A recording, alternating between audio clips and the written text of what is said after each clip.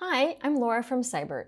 Today, I'm going to be showing you how you can customize how fields behave on the Create screen using behaviors from templating.app.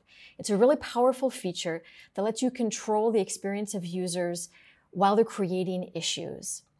So, to customize this, we'll go into templating and we'll click on Behavior Builder. And if you click on See Examples, there are a number of YouTube videos and tutorials that are available so you can see how to show and hide and, and set various fields. Uh, now, we don't have any um, uh, templates created, so we will add a template. Create template for a bug report, add description. You can choose the projects and issue types where this behavior will apply. So we can say for bugs, you can choose multiple projects and multiple issue types.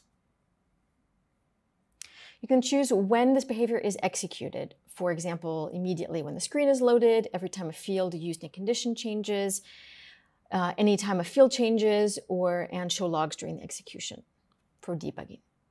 Now we're going to set some conditions.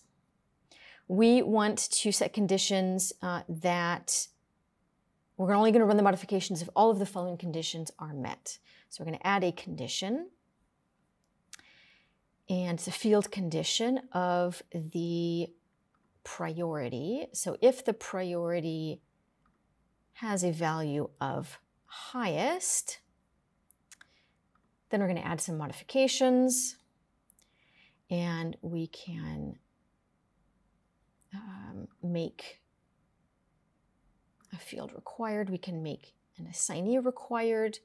We can add another modification of set the field value example for the description.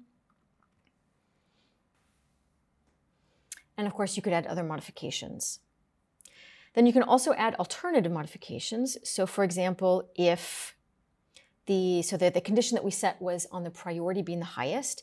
So if an issue is created and it does not have a priority of highest, then you can have another action. So we're going to set the priority actually as lowest.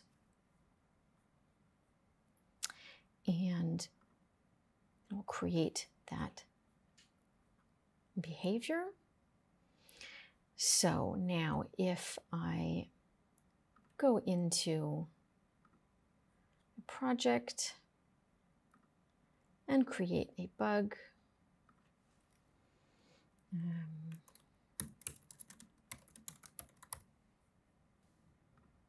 and I set the priority as highest.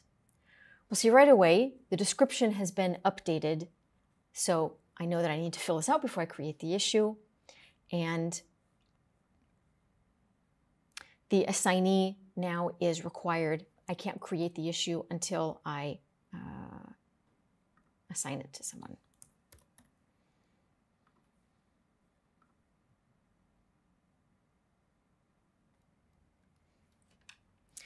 So as you can see, this is a really powerful feature for admins to help users make sure they complete uh, issues, give the information that's needed. You can also hide fields if they're not needed for depending on certain conditions. So overall provides a better user experience. So in the description, you can find links to the documentation as well as templating.app on the marketplace so you can get started with a free trial.